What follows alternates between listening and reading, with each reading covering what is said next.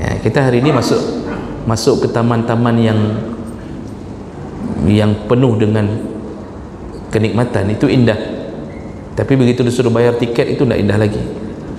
Surga tidak. Ya, tiketnya di sini di dunia. Ya, dengan amal saleh. Dengan jamaah kita ini Pak. nah nanti mereka masuk dengan bentuk seperti bulan purnama. La yabsuqun fiha. Mereka tidak meludah. Jadi tidak ada lagi ludah tidak ada lagi ludah. Jadi tidak ada sesuatu yang menjijikkan keluar dari mulut. Tidak ada ludah. Wala yatamakhatun dan mereka tidak punya dahak jadi tidak ada lagi kena tarik buang tarik buang. Tidak ada. Karena itu menjijikkan. Di dunia banyak. Ya. kemudian wala yataghawatun mereka tidak buang hajat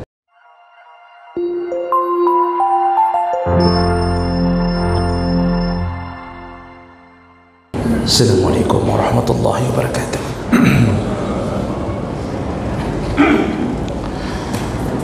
إن الحمد لله نستعينه ونستغفره ونعوذ به من شرور أنفسنا ومن سيئات أعمالنا.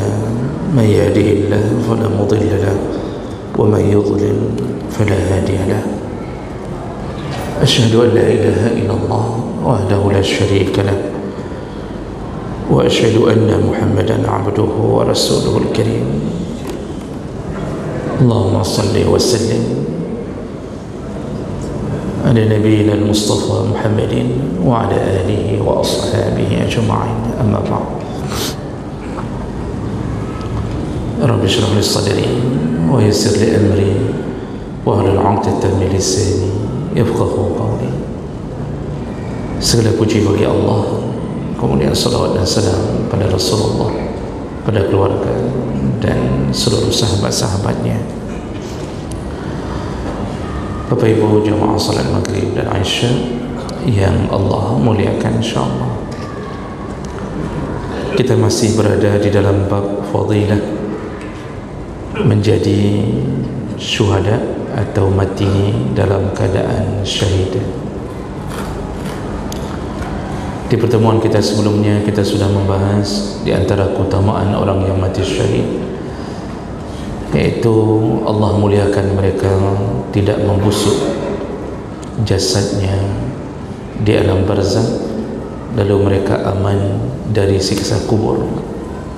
Ya, dipastikan mereka akan dijamin tidak akan mendapatkan siksa kubur dan ini salah satu kebahagiaan menjadi orang yang mati dalam keadaan syahid. Kita sambung berikutnya yaitu kemuliaan yang Allah beri kepada orang yang mati syahid yaitu diberikan oleh Allah 72 bidadari. Diberikan dinikahkan dengan 72 bidadari. Jemaah melakukan Allah. Ini berdasarkan hadis Nabi sallallahu alaihi wasallam. Itu hadis riwayat Ahmad Tirmizi Ibnu Majah dan dengan derajat yang hasan. Kata Rasulullah sallallahu alaihi wasallam للشهيد عند الله ست خصال orang yang syahid itu mendapatkan enam kemuliaan dan kita sudah sebutkan beberapa di antaranya yaitu diampunkan dari tetesan darah yang pertama keluar menjelang kematiannya lalu dia dinampakkan tempatnya di surga. Lalu kemudian dia jamin terbebas dari azab kubur. Lalu kemudian dijamin terbebas dari rasa takut di hari kiamat nanti. Lalu kemudian wa yuta' ala ra'sihi tajul wiqar akan diberikan mahkota. Ya, yang mahkota itu lebih baik daripada khairul minat dunia wa ma fiha diberikan mahkota sebagai sanjungan penghargaan kepada mereka yang mati syahid. Dan mahkota itu ya, terbuat dari yakut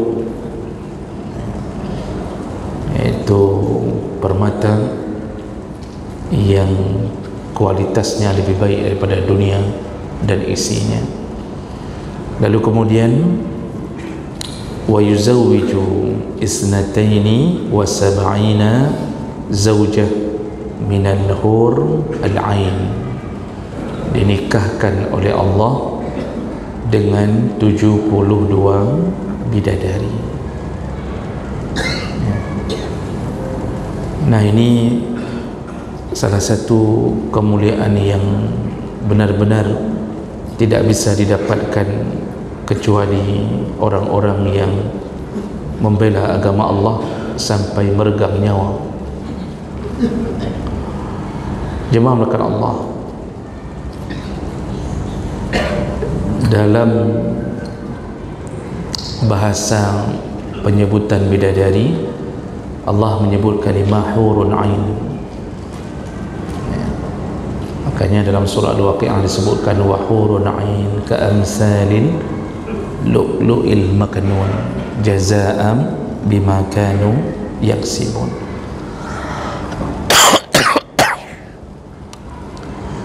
Hur secara bahasa para ulama mengatakan iaitu mata uh, biji bola mata yang begitu indah jadi bola matanya begitu indah itu disebut dengan hur. Ada yang mengatakan bahagian putihnya lebih besar daripada bahagian hitamnya. Itu disebut hur. Ainun mata. Jadi disebut hurun ain fokusnya kepada keindahan pandangan kecantikan mata maka slogan bidadari itu diambil pada perwakilan salah satu keindahan fisiknya adalah mata. Nah kenapa jadi mata yang menjadi jargonnya bidadari ini? Karena mata ini pandangannya bisa mengubah keadaan mata yang indah walaupun wajah kurang-kurang sedikitlah ya. tapi mata yang indah itu akan mengubah performa ya. bulu mata yang lentik mata yang betul-betul menampakkan keindahan ketika memandang itu menjatuhkan hati padahal orangnya biasa saja tapi pandangannya itu kuat sekali pandangan mata yang tajam juga membuat hati menjadi takut. Jadi mata ini bisa mempengaruhi dan menggetarkan. Dan salah satu perwakilan daripada tampil cantik adalah mata. Makanya perempuan itu salah satu yang tidak pernah absen untuk dihiasi adalah matanya itu mata saja nilainya sejuta. Mata saja. Itu bulu mata itu apa namanya? Shadow eye shadow. Eye shadow tu. Betul ya eye shadow. Saya tidak pernah pakai juga. Itu yang lentik-lentik itu lentik bulat lentik itu. Masya Allah itu belum lagi memakai mata dalam apa namanya mata dalam itu lagi itu. Yang ditempel begitu ditempel berubah. Mata hitam berubah jadi mata biru. Infrared. Apa? Oh kontak lens ya saya pikir kenapa jadi infrared? Itu harganya itu Masya Allah soft lens ya itu harganya Masya Allah. Ya. jadi orang lihat orang mata biru aja itu kecil-kecil kita menuju ke Lamno dapat orang yang keturunan Portugis di antara satu dan dari sekian banyak yang bermata hitam. Satu mata biru kita akan mengatakan cantiknya. Ya Allah cantiknya. Ha, padahal wang tak ada tapi cantiknya. Nama mata itulah yang Allah sebut wahurun ain. Keamsal lu'lu'il maknun. Bidadari itu yang lentik indah matanya. Kalau mata aja udah indah apa lagi yang lain? Mereka itu kata Allah keamsal al-lu'lu' al-maknun bagaikan mutiara yang tersimpan rapi. Maknun tidak pernah dibuka. Jadi belum pernah disentuh belum pernah dilihat maknun ya. Makanya apapun yang orang bayangkan tentang bidadari tak sampai pikirannya. Semuanya salah. Kita hari ini tidak bisa bayangkan bidadari hanya dengan melihat orang tercantik di kalangan kita. Karena perbandingannya jauh sekali. Dan ini benar-benar tidak terjamah. Artinya Allah baru keluarkan nanti di surga cuma Nabi hanya memberikan bayangan-bayangan kelebihannya saja ya. jadi ada hadis Nabi yang mengatakan bahawa wanginya bidadari kalau sempat tembus satu lubang jarum ke dunia maka pingsanlah para lelaki saking wanginya kita kita hirup aroma minyak wangi isteri kita pingsan juga.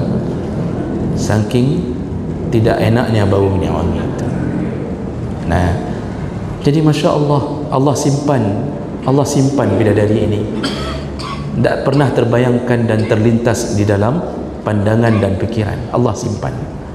Jadi siapapun yang diberi Allah tamsilan di dunia tidak pernah cocok dengan yang namanya bidadari. Dan kenapa Allah buat itu? Itu hadiah. Untuk siapa?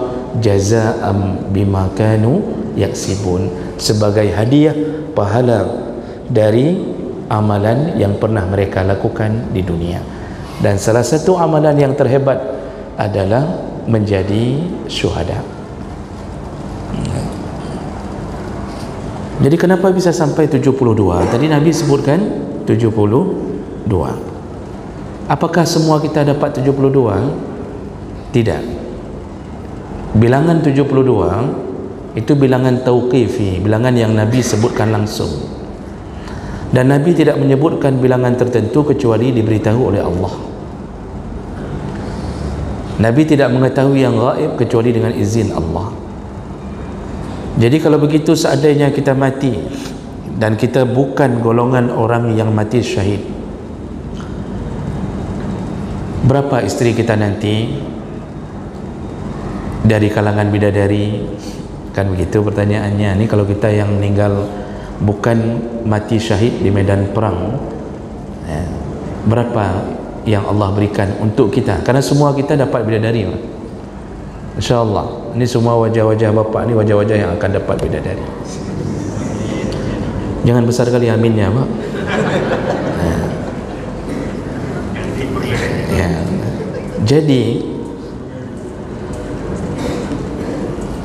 bidadari yang diberikan itu memang untuk semua mukmin yang masuk surga.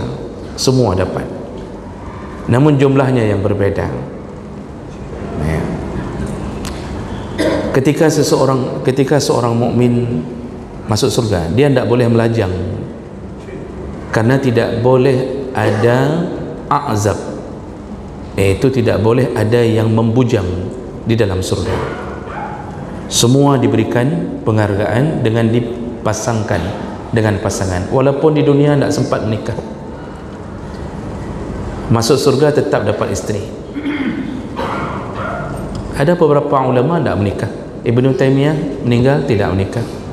Disibukkan dengan ilmu. Imam Nawawi tidak menikah. Disibukkan dengan ilmu. Tidak sempat menikah bukan tidak ingin tidak sempat karena cinta mereka ke ilmu. Sehingga tidak sempat mikir untuk menikah bukan tidak mau.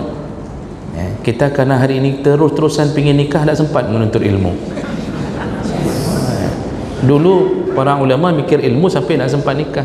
Hari ini kerana orang mikir nikah tu terusan sampai nak sempat untuk ilmu. But pe gaduh yang kahwin. Ha, itu model hari ini. Jadi semuanya dinikahkan ha.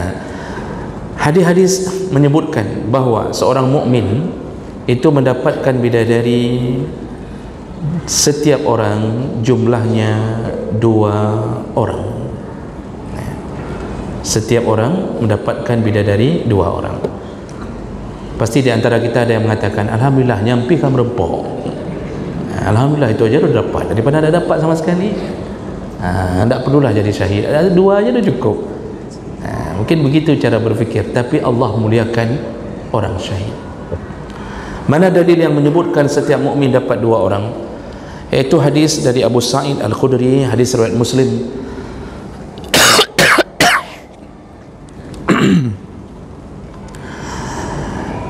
Rasulullah sallallahu alaihi wasallam ketika menceritakan tentang penduduk terakhir yang diselamatkan dari neraka menuju surga ini terakhir dia ni ya.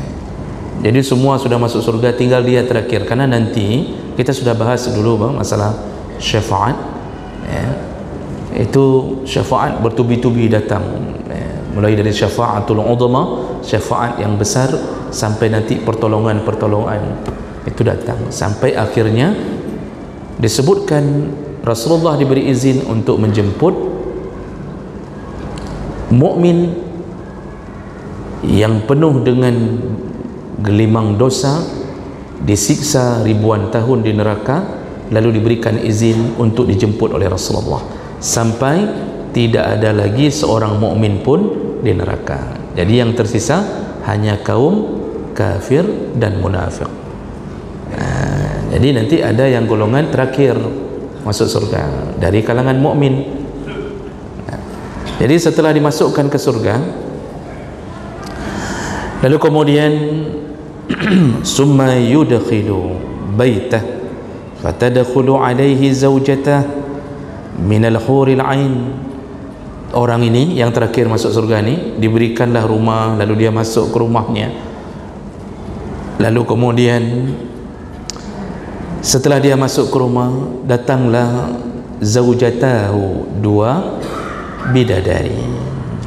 Ya, datanglah dua bidadari menemuinya di rumah itu. Jadi zaujatahu minal huril ain. Fatakulani alhamdulillahilladzi ahyaka lana wa ahyana laka. Bidadari ini dua orang bidadari ini ya, berkata segala puji bagi Allah yang telah menghidupkan kami untukmu dan menghidupkan engkau untukku untuk kami itu perkataan bidadari. Jadi bidadari itu memang betul-betul tidak ada perkataan di surga itu yang memojokkan, menyudutkan, menyindir tidak ada. Karena surga di dalamnya hanya kaulan salama salama. Jadi bidadari pas masuk ke rumah menemui orang yang terakhir masuk surga ini itu tidak pernah mengatakan ah baru truk. Tidak ada apa. Baru sampai ya. Kok lambat kali yang lain sudah dari dulu di surga kamu sampai gosong begini ya? Tidak ada itu. Tidak ada kalimat yang menyakitkan tidak ada. Ya, makanya cemburu itu tidak ada di surga. Walaupun dikasih tahu tentang bidadari ibu-ibu itu tidak pernah akan berfikir tentang kecemburuannya. Karena surga kalau ada cemburu maka cemburu itu akan menyusahkan menyakitkan. Maka orang cemburu kan banyak yang stres orang cemburu banyak yang tak bisa tidur di surga tidak boleh ada cemburu Allah hilangkan. Maka kita nanti jangan khawatir akan diusir kembali oleh istri yang pertama tidak. Jadi semua siap sedia. Nah istri-istri kita nanti jadi apa? Jadi bidadari juga. Dan itu lebih lebih mulia daripada bidadari yang menunggu di surga. Kenapa? Mereka ini masuk surga dengan perjuangan. Nah, jadi istri-istri itu akan bersama akan bersama kita. Nanti ditambah dua orang. Yang asli barang dari surga. Yang barang bawaan ya dari dari lo semua ya barang bawaan. Nah, jadi yang satu yang dua sama-sama masuk surga. Istri kita pun dirubah bentuknya menjadi bidadari. Umurnya antara 25 sampai 30 tahun saja. Tidak berubah-berubah. Setiap Jumat mereka akan ke pasar kata Nabi pulang dari pasar terkena angin surga bertambah cantik bertambah cantik. Setiap pulang dari pasar hari Jumaat bertambah cantik. Pergi lagi pulang bertambah cantik. Hari ini isteri kita pergi ke pasar bertambah buruk. Pergi lagi bertambah buruk. Maka dia cukup bagah tu hari ni. Karena selalu dia pergi ke pasar. Capek itu pak. Capek uh, isteri itu capek pergi ke pasar. Bayangkan dia beli sayur dia harus balik dulu ke tempat parkir. Untuk letakkan dulu sayurnya baru balik ke tempat ikan. Balik lagi. Kita kan cuma tunggu di rumah. Lalu kita tanya masa apa hari ini? Pernahkah terfikir perjuangannya masuk ke dalam becek jatuh kemudian tertukar ikannya dengan ikan orang? Tak cocok dengan selera kita. Capek itu isteri. Maka isteri itu perlu dihargai mak. kasih uang lebih uang belanja 3 juta. Kasih 3 juta setengah. Itu Masya Allah. Suami itu Insya Allah surga. Eh? istrinya bahagia. Suaminya yang melarat. Nah jadi Bapak Ibu yang Allah muliakan Itu perkataan bidadari. Malah dia mengatakan segala puji bagi Allah yang telah menghidupkan kami untukmu Dan menghidupkan engkau untuk kami. Itu orang terakhir masuk surga itu. Setelah dimandikan di dalam telaga Untuk menghilangkan hangusnya Itu dimandikan semua yang berasal dari surga. Lalu Nabi mengatakan di dahinya tertulis Jahannamiyun Ex Nabi Jahannam. Tapi bidadari tidak pernah. Ya, dia pegang ni apa ni bang? Ex napi jahannam? Ya tidak ada. Tidak ada. Semua bahagia. Nah lalu kemudian orang ini berkata orang yang terakhir masuk surga ini berkata qal ma u'tiya ahadun misla ma u'titu. Sungguh sungguh begitu dia lihat dua orang bidadari ini sempurna di luar jangkauan jadi bukan lagi 4G sudah 6G ya, bukan 4G bukan 5G sudah di luar jangkauan itu. Tidak pernah nampak. Lalu apa yang dia katakan?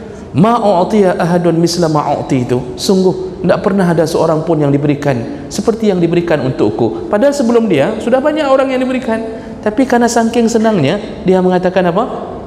Ini tidak pernah dikasih ke orang cuma untuk saya? Dia tidak tahu sebelumnya orang-orang sudah dapat bidadari duluan. Begitu senangnya dia. Begitulah keadaan orang yang masuk surga dapat dua isteri dari kalangan bidadari. Hadis riwayat muslim.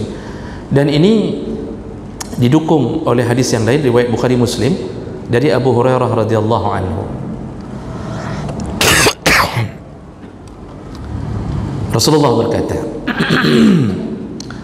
Awalu zumratin talijul jannah suratuhum ada suratil qamar laylatal badri. Rombongan pertama yang masuk surga maka bentuk mereka yaitu seperti rembulan di malam purnama. Jadi rombongan pertama masuk surga dari umat Muhammad itu bersinar terang benderang. Seperti bulan purnama wajah mereka begitu indah. Indah sekali hari masuk surga itu Pak. Indah sekali. Ya, kita hari ini masuk masuk ke taman-taman yang yang penuh dengan kenikmatan itu indah. Tapi begitu disuruh bayar tiket itu tidak indah lagi. Surga tidak ya. tiketnya di sini di dunia. Ya. dengan amal saleh dengan jamaah kita ini Pak. nah nanti mereka masuk dengan bentuk seperti bulan purnama. La yabsuqun fiha. Mereka tidak meludah. Jadi tidak ada lagi ludah. Tidak ada lagi ludah jadi tidak ada sesuatu yang menjijikkan keluar dari mulut. Tidak ada ludah. Wala yatamakhatun. Dan mereka tidak punya dahak jadi tidak ada lagi kena tarik buang tarik buang. Tidak ada. Karena itu menjijikkan. Di dunia banyak. Ya.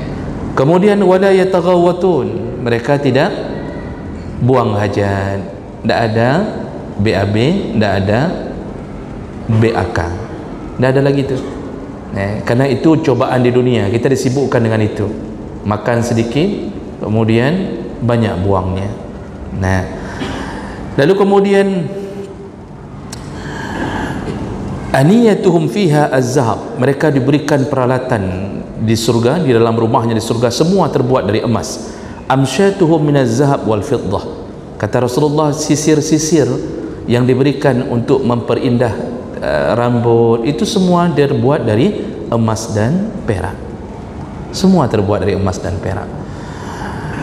Lalu kemudian Rasulullah mengatakan wa mujamiruhum al-aluwah iaitu tempat bara api untuk menikmati itu mereka akan memasak mereka suka-suka hidup. Itu terbuat ya, dari kayu yang sangat wangi lalu warashuhum almis dan keringat mereka juga bau kasturi. Semua penduduk surga keringatnya bau kasturi.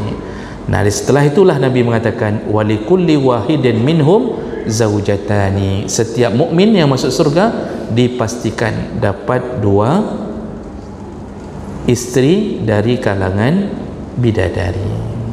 Nah ini berarti menunjukkan bahawa setiap kita akan mendapatkan bidadari dua orang selain isteri yang kita bawa dari dunia.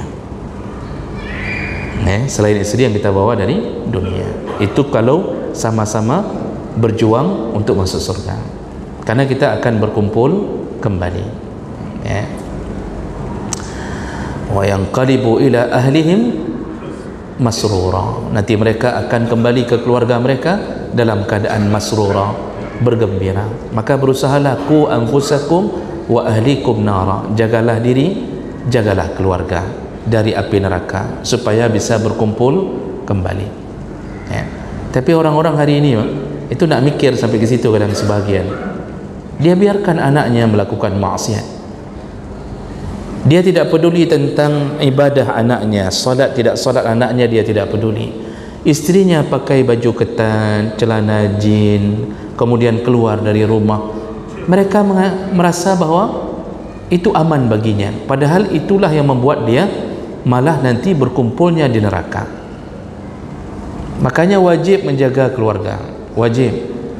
Suami yang sudah tidak jaga lagi tidak jaga lagi istri tidak jaga lagi anak maka dia disebut dayus iaitu orang-orang yang kehilangan rasa cemburu kepada istri dan anaknya.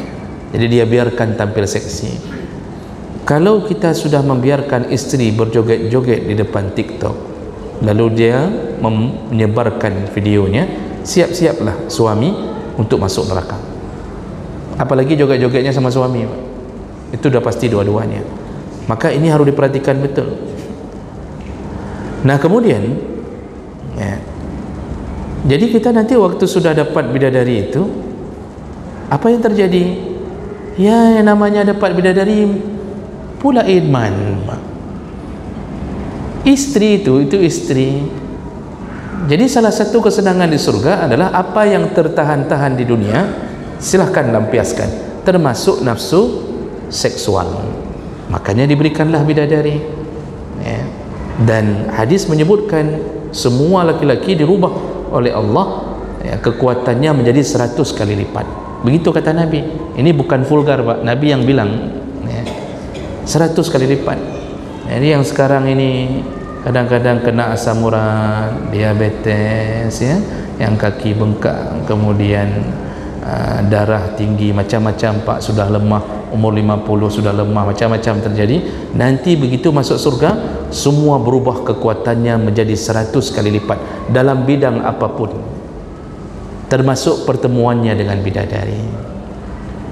Ha, jadi begitu. Makanya ini kebahagiaan di surga. Jadi kita itu nanti disibukkan dengan bersenang-senang.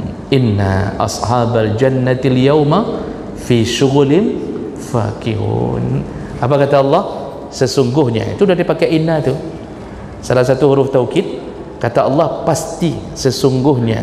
Semua penduduk surga nanti fi syughul semuanya sibuk. Syughul itu sibuk. Sibuk apa? sibuk bersenang-senang. Masya Allah sibuk bersenang-senang. Bisa bayangkan Pak sehari ini kan kita sibuk dengan kesusahan. Kita kan sibuk dengan susah Pak.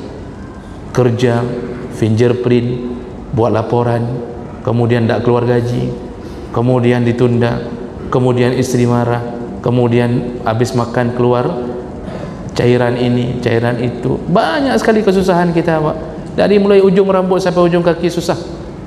Bertaik semuanya. Di rambut ada taik rambut ya kemudian turun ke bawah. Terus terus semuanya susah.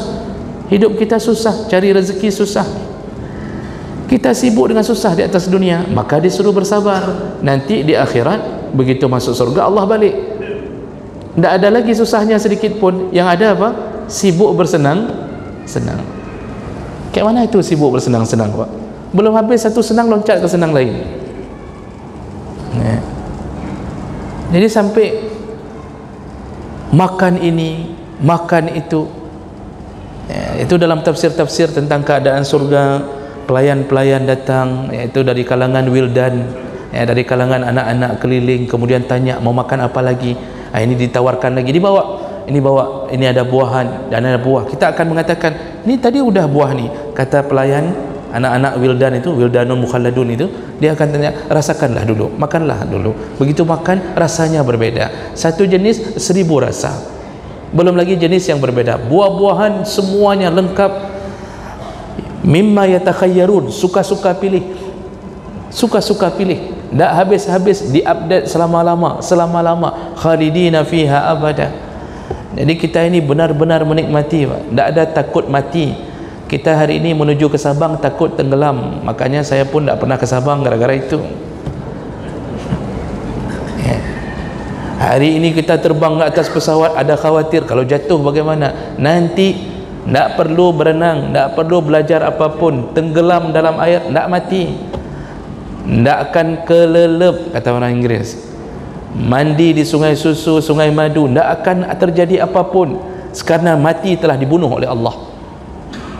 Dalam hadis yang sahih begitu selesai urusan di padang mahsyar uh, begitu datang di padang mahsyar lalu Allah subhanahu wa ta'ala menghadirkan seekor anak kambing hitam. Ini hadisnya yang saya tidak hafal matanya lagi. Lalu kemudian Allah katakan lihatlah inilah kematian. Inilah kematian yang dulu kalian takuti. Jadi diserumpamakan dengan seekor kambing hitam. Lalu Allah mengatakan hari ini ku bunuh kematian. Disembelih. Setelah disembelih lalu Allah berkata matilah mati. Yang ada hari ini khulud. Semuanya kekal. Masuk neraka kafir kekal. Munafik kekal. Yang masuk surga kekal tidak ada lagi mati bayangkan senang tidak mati-mati senang tidak mati-mati Orang kalau sudah mikir ke situ rasanya nak mau tidur untuk qiyamul lail terus-terusan. Ya.